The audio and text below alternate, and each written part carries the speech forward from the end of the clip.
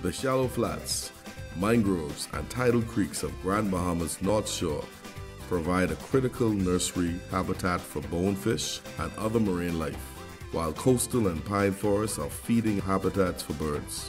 Bone fishing on the North Shore is extraordinary, providing a livelihood for fly fishermen for generations while supporting the multi million dollar industry.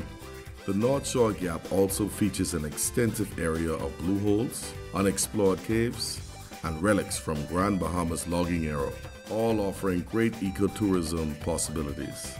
The Bahamas National Trust, local guides, and the scientific community proposed the creation of the North Shore Gap National Park to preserve its historical, economic, and ecological importance.